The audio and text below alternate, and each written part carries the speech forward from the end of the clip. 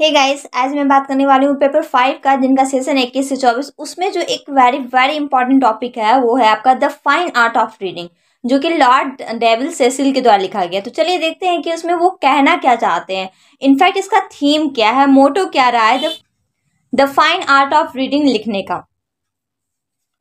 The fine art of reading is a masterpiece is written by Lord David Cecil the fine art of reading जो है, एक master piece ऐसे रहा है।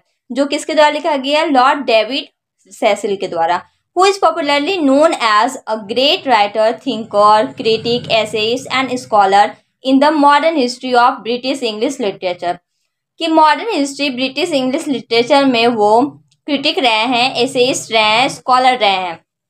The fine art of reading is one of them in which the author has express his great thought of regarded to fine art of reading the fine art of reading में कहना चाहते हैं author जो है ना, वो express किए हैं अपने इनर फीलिंग्स को।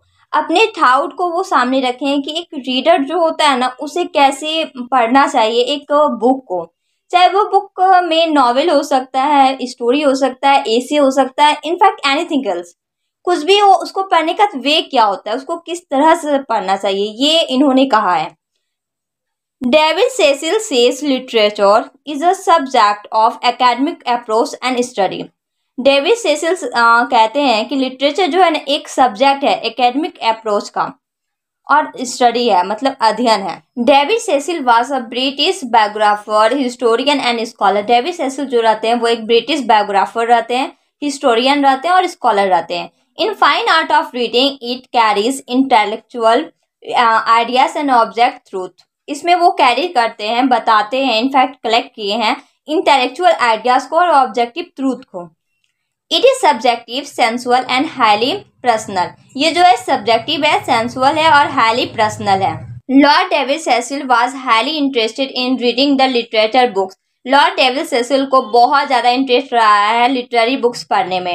He when throw a galaxy of literary books and then he started writing literary essay वो ना गए थे गैलेक्सी ऑफ़ लिटरेरी बुक्स फिर उन्होंने वहाँ से ही सोच निकाला मतलब एक विचार किया कि वो लिटरेरी ए से लिखेंगे।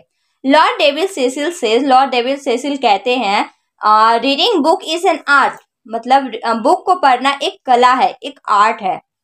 The author describe the importance of reading author जो रहते हैं मतलब लॉर्ड डेविड सेसिल वो डिस्क्राइब करते हैं इम्पोर्टेंस ऑफ़ रीडिंग को he says that faith hope charity humanity patience must be kept as the items of reading literary book जब भी लिटरेरी बुक को रीडिंग कर दिया जाता है तो जो भी रीडर होते हैं, उससे चैरिटी रखनी चाहिए, अपने में ह्यूमिनिटी रखनी चाहिए और पेशेंस रखनी चाहिए।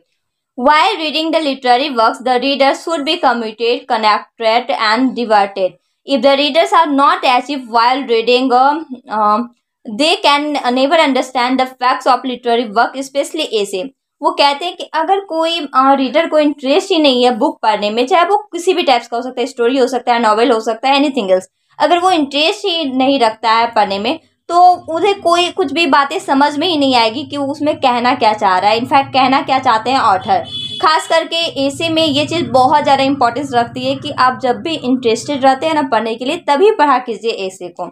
Lord David Cecil says that the literary essay he should be highly educated और लॉर्ड डेविड सेसिल कहते हैं कि लिटरेरी ऐसे जो होता है ना, वो हाईली एजुकेटेड रहता है।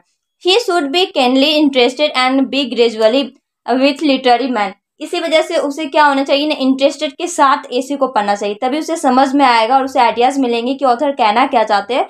और उसे किस किस चीज़ों को समझना चाहिए David shows his views by saying that to understand the literary essay the reader should have much vocabularies the knowledge of deeply grammar, composition and basic requirements in order to enjoy literary work. David David कहना चाहते हैं अपने view से कि literary AC को समझने के लिए रीडर के पास डीपली नॉलेज होना चाहिए ग्रामर का कंपोजिशन का बेसिक चीज़ों का तभी वो आसानी तरीके से लिटरेरी वर्क को एंजॉय करने के साथ पढ़ सकेंगे।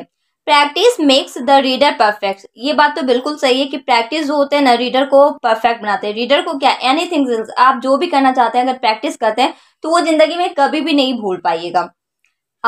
As a matter of fact there are some writers जैसा कि देखा गया है कि बहुत सारे राइटर्स होते हैं who are differently greater than the others जो बहुत ज़्यादा ही मतलब महान होते हैं अदर्स के मैटर में।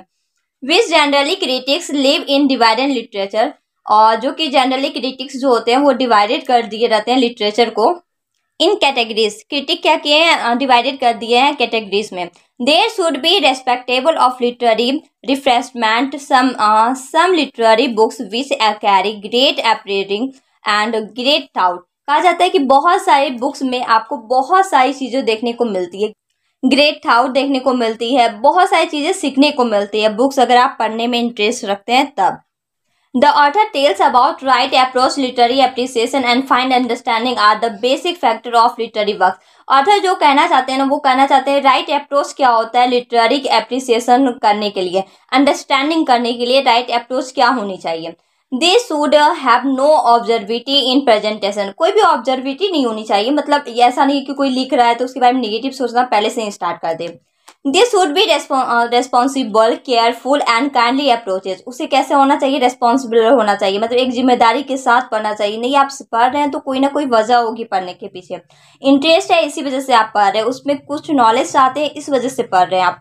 They should be good thought clear understanding and basic conceptation उसमें क्या होना चाहिए? एक मतलब अच्छी विचार होनी चाहिए। क्लियर अंडरस्टैंडिंग की क्षमता होनी चाहिए और बेसिक कॉन्सेप्टेशन होनी चाहिए। The fine art of reading means understanding the view of writers fine art of reading का मतलब होता है कि अंडरस्टैंडिंग राइटर्स के व्यू को समझना कि राइटर्स क्यों लिखे हैं ये? The best work of lord David Cecil is fine art of reading in his life उसकी लाइफ का सबसे बेस्ट जो रहा है वर्क वो रहा है आपका the fine art of reading जो किसके द्वारा लिखा गया? लॉर्ड डेविड सेसिल का। ये ऑब्जेक्टिव में भी क्वेश्चन पूछा जाता है कि the art the fine art of reading किसके द्वारा लिखा गया? तो लॉर्ड डेविड सेसिल का। आई होप कि आपके सारे कॉन्सेप्ट क्लियर हो गए हो कि इसमें वो कहना क्या चाहते हैं। और इसका पीडीएफ मैं टेलीग्राम पर अपलोड कर दूँगी।